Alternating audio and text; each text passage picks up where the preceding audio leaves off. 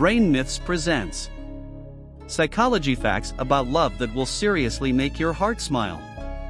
Let's unpack some of love's deepest secrets and discover what love is, and how and why we feel it. 1. The science behind love.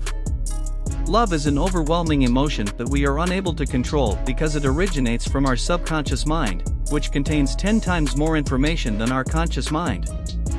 2. Hugs and cuddles. The hormone oxytocin, which is known as the love hormone, is released by your body when you hug or cuddle someone.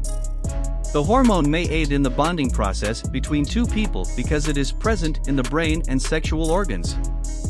3. A kiss of life. Men who kiss their wives first thing in the morning supposedly live up to 5 years longer. Kissing activates the pleasure regions of the brain, making you feel happy all day long.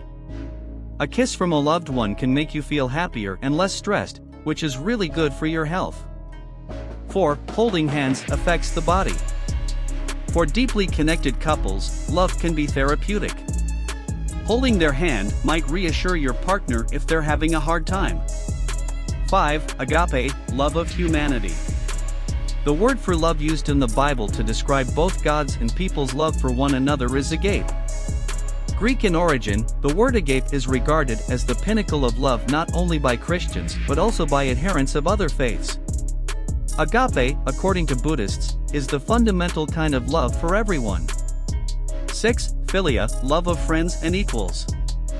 Philia can be used to indicate a long-lasting love, a close friendship, or strong family ties.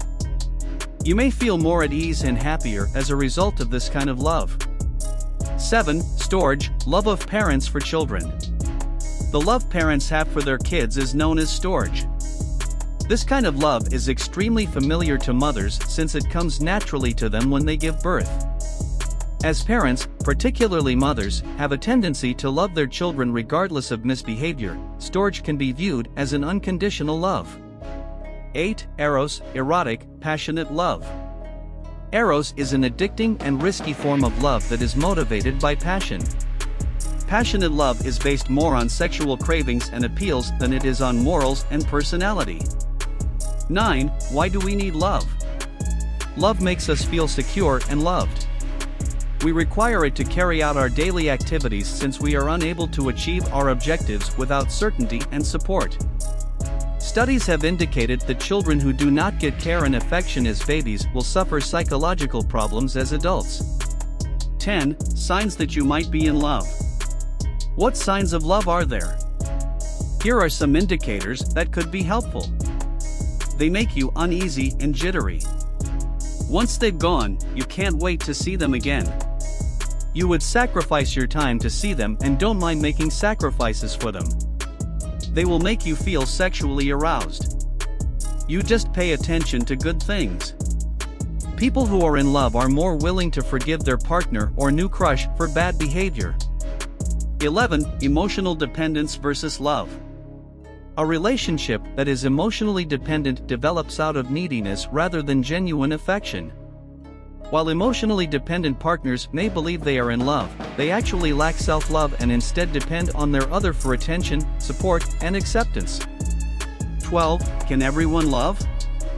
Not everyone has the capacity to love another person. Some people are unable of receiving or expressing love due to specific psychological difficulties. You may find it difficult to fall in love for a variety of reasons, including low self-esteem, codependency, personality disorders, childhood abuse, mood disorders, issues with perfectionism, and abandonment. 13. The three levels of love. Each person will go through each of the three stages of the love process to find their passion. These are the three phases of love. Stage 1 Lust. Stage 2 Attraction. Stage 3 Attachment. 14 Love Dreams. Psychology holds that our deepest aspirations, secrets, worries, and anxieties are revealed in our dreams. Many hidden facts about ourselves can be revealed by our love dreams. For instance, having a dream that you fall in love with a total stranger may indicate that you aren't happy with your life. Or having a dream about your significant other could indicate that you are connected. 15. Is there a difference between infatuation and love? In contrast to love, which takes time to develop into a meaningful relationship between two people, infatuation is a brief but intense connection to someone or something. 16. Can you love more than one partner? Depending on the sort of love, you can be in love with numerous people at once without betraying your partner. While you're in a relationship, you could develop feelings for an ex partner again or discover someone new. Additionally, love is a complex concept that may mean different things to different people. While some people may favor open relationships, others may be fixated on finding the one. 17. The evolution of love. The way that we love today was not possible for previous man. Our cognitive and communication capacities grew along with the size of our brains. Additionally, as these abilities and our language developed, we got more self-aware and developed a love consciousness. Love grew along with us from its simple origins as a mother-infant relationship. 18. There are seven types of love here are the seven types of love. Infatuation, friendship, empty love, companionate love, romantic love, consummate love, fatuous love. 19. Gender and love. Men and women have diverse romantic experiences, for instance, men can fall in love within 18 seconds whereas women can take up to 15 days. According to research, males initiate sex more frequently when they are in love than women do. Men are more likely to initiate the I love you declaration than women, according to other studies. 20. Can animals love? Many animal species, including the seahorse, bald eagle, gibbon, and gray wolf, are monogamous. Animals can experience love, according to neuroscientific study, and since attachment is a type of love, it stands to reason that animals can fall in love with their owners. 21. How do different cultures love? The concept of love varies widely among cultures. Our varying moral standards, worldviews, and cultural traditions have an impact on how we view and feel love.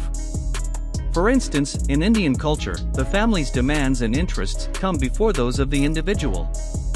Alternately, the Amish priorities their love, agape love, for God and their community over all other types of love. 22. Emotional intelligence and love. How you accept and offer love might be influenced by your emotional quotient, EQ. Your emotional awareness will benefit and help in a long lasting relationship if you have a high EQ.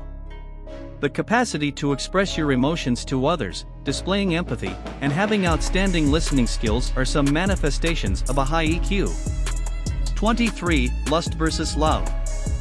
Love has the power to create a strong attraction that leads to a deep relationship.